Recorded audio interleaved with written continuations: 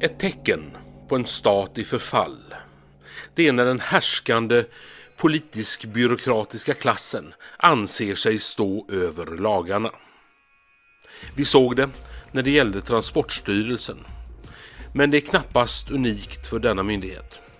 Och i grunden så finns det ett lagbrott som på sätt och vis står över alla andra. Jag citerar regeringsformens tolfte kapitel. Citat. Särskilda bestämmelser om statligt anställda. Femte paragrafen. Arbetstagare vid förvaltningsmyndigheter som lyder under regeringen anställs av regeringen eller av den myndighet som regeringen bestämmer. Vid beslut om statliga anställningar ska avseende fästas endast vid sakliga grunder såsom förtjänst och skicklighet." Slut citat. Här talar vi alltså om landets grundlag. Principen om förtjänst och skicklighet återfinns även i lagen om offentlig anställning. Citat. Bedömningsgrunder vid anställning. Fjärde paragrafen. Vid anställning ska avseende fästas bara vid sakliga grunder såsom förtjänst och skicklighet. Skickligheten ska sättas främst om det inte finns särskilda skäl för något annat. Slut citat. Man undrar vad i detta som är så svårt att begripa. Samtidigt vet vi att eh, höga statliga chefer tillsätts ur en klick karriärbyråkrater. Ett kotteri utan verksamhetsrelaterad kompetens men inte sällan med partibok.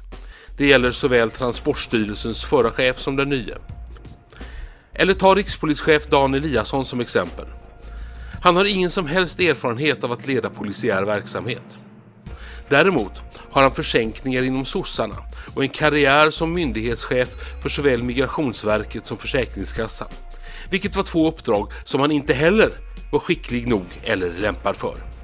Vad gäller Försäkringskassan kan man till och med dra slutsatsen att Eliasson är direkt olämplig som myndighetschef då han lät radera miljontals e-postmeddelande i syfte att försvåra utredningen av begångna fel. Det borde vara åtalbart men ses tydligen i regeringens ögon som en merit.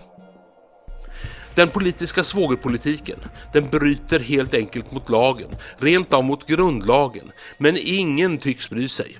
Politiken och byråkratin, den anser sig helt enkelt stå över lagen och att utkräva ansvar, det verkar i princip vara omöjligt. Än mer tragiskt blir detta om man betänker att det finns kompetent folk i de olika statliga förvaltningarna som eh, kan verksamheten, som är skickliga och goda ledare. De här människorna hålls idag tillbaka till förmån för det politiska kamraderiet.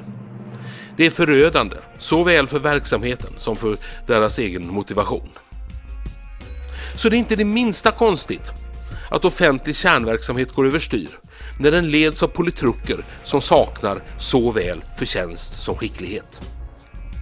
Och slutligen så är det ett anständighetskrav att den stat som kräver att alla medborgare ska följa lagen också gör det själv. Annars är vi bara en bananrepublik med sämre väder. Det är hög tid att rensa upp i träsket.